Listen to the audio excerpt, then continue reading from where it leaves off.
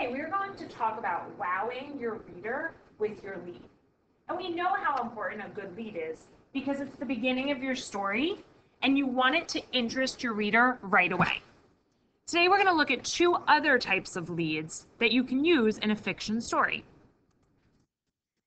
These are many types of leads that you've probably seen already. The two we're going to look at today are internal thought and action. An internal thought lead shows what the character is thinking at a particular moment.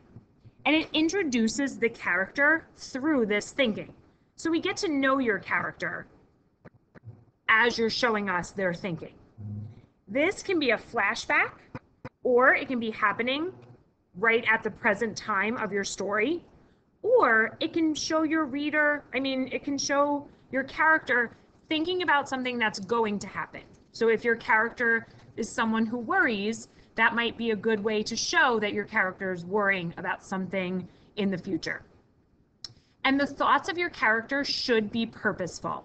So these thoughts should either be telling us about an event that happened that the reader needs to know, or the thoughts should be telling us about who your character is.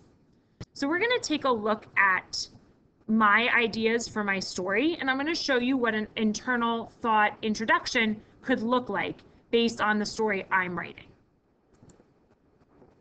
This is my brainstorm so far. I'm working on themes that are kind of like this, that have to do with being yourself and being able to make friends um, without having to change who you are, that your true friends are going to like you no matter what. And the character I've created based on that is a girl named Charlie. She's really good at sports and she wants to make more friends, but she keeps finding that they just don't share the same interests as her. They like other things, whereas she's so into sports. And I also am including another really important character, her older brother, Tony, and they get along really well. And this person I'm thinking might be in my lead, so I wanted to include that in my brainstorm. Now let me show you a list I made for an internal thought lead. So I need some information about Charlie and what I would include in her, her internal thoughts. And this is what you would do before you create your lead. So I said that Charlie is upset. So I'm going to show a flashback. And I want to show how I was saying how she wants more friends, but they don't have the same interest. So I'm going to talk about how girls were talking and she felt left out. And she doesn't like the same things as these girls, which is what was making her feel left out. And I need to show that she wants more friends. So somehow I want to show that she's upset and show the reasoning why. And I'm going to do that through her thoughts. So now I'm going to show you the lead that I came up with with Charlie's inter internal thoughts. And I want you to think about how am I showing what she is like? How am I showing she's upset? And how am I making these thoughts purposeful for the story?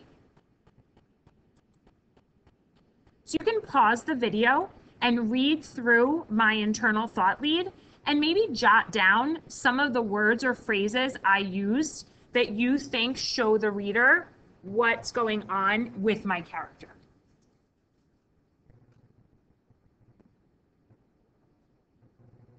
All right, so hopefully you noticed some details I tried to include to show that Charlie is walking in the door and she's upset. And I included the she threw her backpack because I think that action is going to set up the reader to show what what she's feeling and what she's thinking about. I use phrases like she couldn't stop thinking about. And she had no idea why this bothered her. So I wanted to use the idea of bothering her because it is. It's what she's thinking about still, even after she came home. I'm saying how she didn't want to hang out with them. And then I talked about what they were saying manicures and shopping and dance classes, and Charlie doesn't like those things. So it says none of that interests her. So in this way, I'm using a few details to show you what Charlie's like through her thinking. let's look at another way that we could do a different lead. That's the action lead.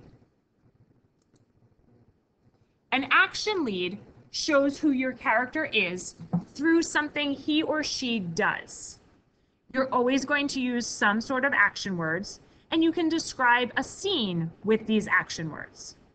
So I'm going to think back to who my character is, which is Charlie. She loves sports. She gets along with her brother. She's very athletic. And I'm going to include all of those things in my action lead. So here are some of the notes I took. And again, if you're going to write an action lead, you're also going to take notes on things that you know you want to include. So I said Charlie is good at sports. She always plays sports. Tony is her brother, and she has a good relationship with Tony. So as I was planning this, I'm thinking of a scene where maybe she's doing something with Tony involving sports. And I also want to show that they have a good relationship. So that's where I'm going to use some dialogue to show that they're friends. They're not just brother and sister, but they're also friends. So again, pause the video, read through my action lead, and maybe jot down some things that either show you she is good at sports or show you she has a good relationship with her brother.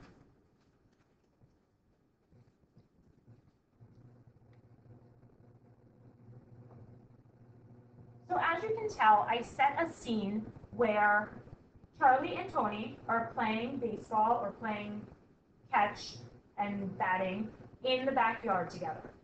And I wanted to show that Charlie's really good at this. So I said the familiar crack, because by saying familiar crack, it means it happens a lot. And I also said it flew over the fence again. So in those two ways, I tried to show that this happens all the time because Charlie is so good. She had been practicing, it paid off. And you can tell about her brother. I wanted to show that he's not doing it, he's not going easy on her. He is maybe good at baseball too, and so he's trying to treat her fairly by throwing her the ball as he would in his own game. Um, here, I said giving her a smirk to let Charlie know he wasn't actually mad. Again, that's showing a good relationship. And here, I feel like they're joking with each other. So it shows that they're getting along. And as you can see, my two leads for the same story are completely different. In this scene, Charlie's happy, but she's happy because she's doing something she loves. In this lead, she's not happy because she's thinking about the problem that's going on. And it's really interesting to think that you can write a lead that shows one a character one way, and then you can show the same character in a completely different way in a different lead. So why don't you go back, maybe try one or maybe try both of these leads and see which one you feel is the stronger one for your story. Enjoy!